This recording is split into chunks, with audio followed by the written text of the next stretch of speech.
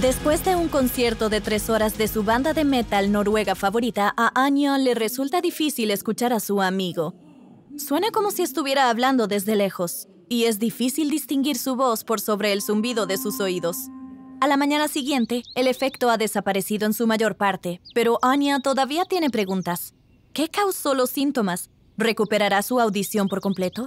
¿Y aún puede ir a conciertos sin lastimarse los oídos?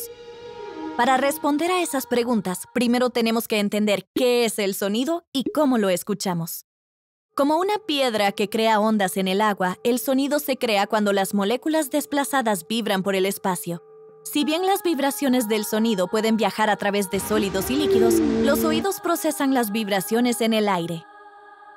Esas ondas de presión de aire entran en los canales auditivos y rebotan en el tímpano. Un trío de huesos llamado cadena osicular lleva luego esas vibraciones a la cóclea y transforma las ondas de presión del aire en ondas de líquido coclear.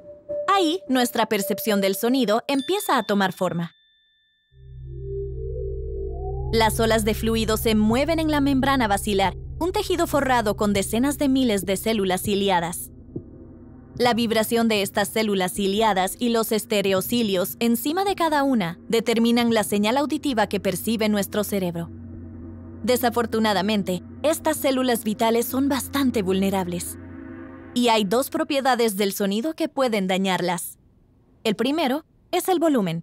Cuanto más fuerte es un sonido, mayor es la presión de sus vibraciones.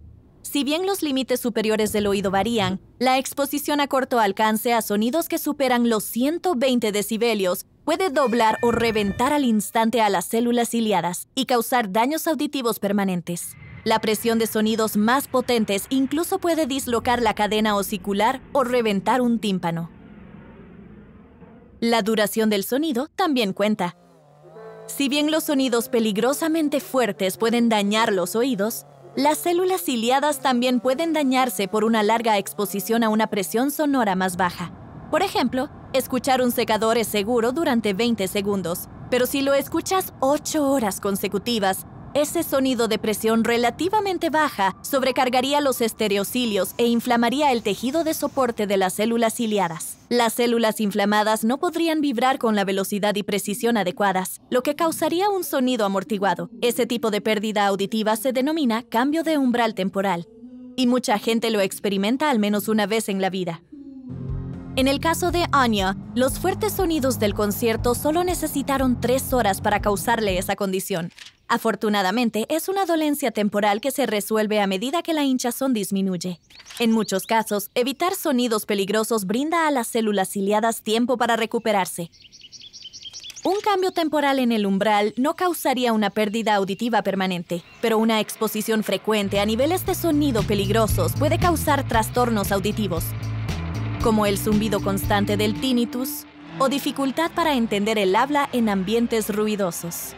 Las células ciliadas sobrecargadas pueden crear unas moléculas llamadas especies reactivas de oxígeno.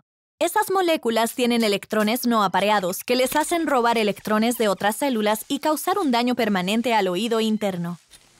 Hay muchas estrategias para prevenir la pérdida de audición. La investigación actual sobre el uso de auriculares sugiere mantener el volumen al 80% o menos si los usas más de 90 minutos al día.